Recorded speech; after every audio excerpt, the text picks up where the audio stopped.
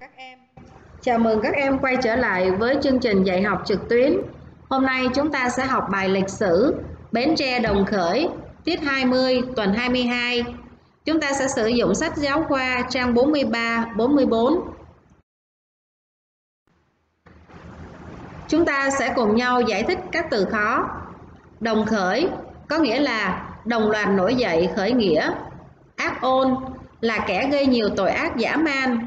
Mỹ Diệm là chỉ đế quốc Mỹ và chính quyền Sài Gòn do Ngô Đình Diệm đứng đầu. Ấp, một đơn vị hành chính tương đương với thôn, xóm ở miền Bắc. Cô mời các em cùng nhìn lên bản đồ để xác định vị trí của tỉnh Bến Tre. Đây, cô mời các em cùng quan sát. Bến Tre là một tỉnh nằm ở miền Nam, Bến Tre là tỉnh số, đánh số là 20. Chúng ta thấy tỉnh Bến Tre nằm ở vị trí mà con chỏ chúng ta đang chỉ dẫn.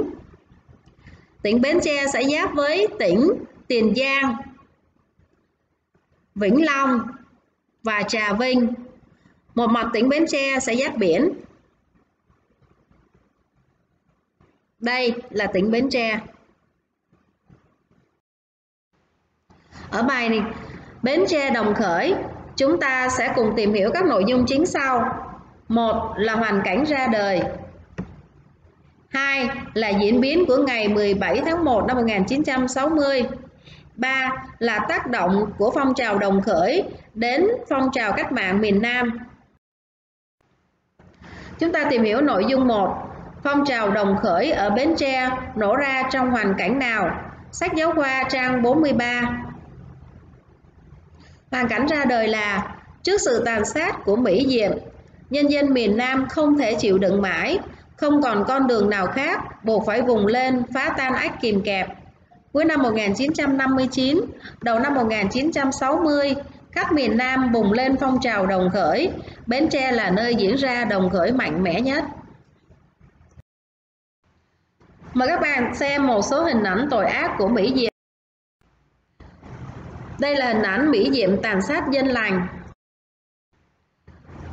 Đây là hình ảnh Mỹ Diệm đã thảm sát đồng bào ta. Mời các em đến với nội dung thứ hai, thuật lại sự kiện ngày 17 tháng 1 năm 1960 ở huyện Mỏ Cày, tỉnh Bến Tre.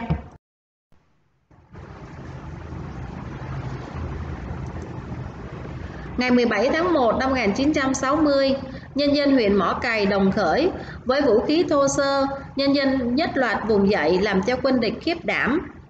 Phong trào lan rộng khắp các huyện của tỉnh Bến Tre. Sau một tuần, 22 xã được giải phóng, 29 xã khác tiêu diệt ác ôn, vây đồn, giải phóng nhiều ấp. Chính quyền địch bị tê liệt, tan rã. Nội dung thứ ba, Thắng lợi của phong trào đồng khởi ở Bến Tre có tác động như thế nào tới cách mạng miền Nam?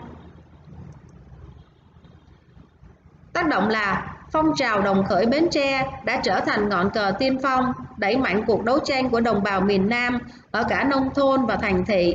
Chỉ tính trong năm 1960, có hơn 10 triệu lượt người, bao gồm cả nông dân, công nhân, trí thức, tham gia đấu tranh chống Mỹ Diệm mở ra thời kỳ mới cho đấu tranh của nhân dân miền Nam. Miền Nam cầm vũ khí đấu tranh chống quân thù, đẩy Mỹ Diệm rơi vào tình thế bị động, lúng túng. Đây là hình ảnh nhân dân miền Nam nổi dậy phá thế kèm kẹp của Mỹ Diệm.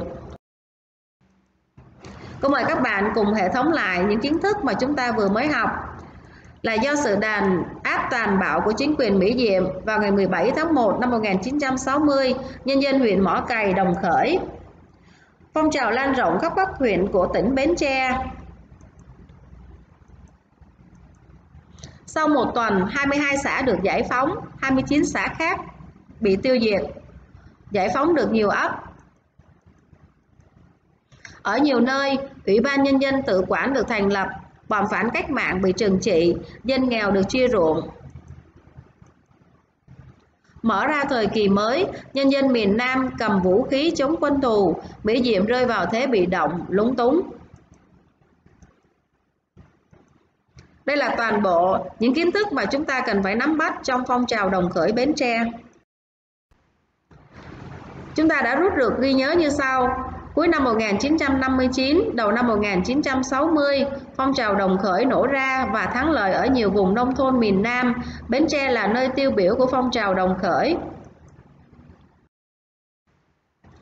Trước khi kết thúc bài học, chúng ta sẽ xem lại bài học thuộc ghi nhớ trong sách giáo khoa chuẩn bị bài nhà máy hiện đại đầu tiên của nước ta tiết học của chúng ta đến đây là hết chúc các em vui khỏe học tập tốt. Thân ái chào các em.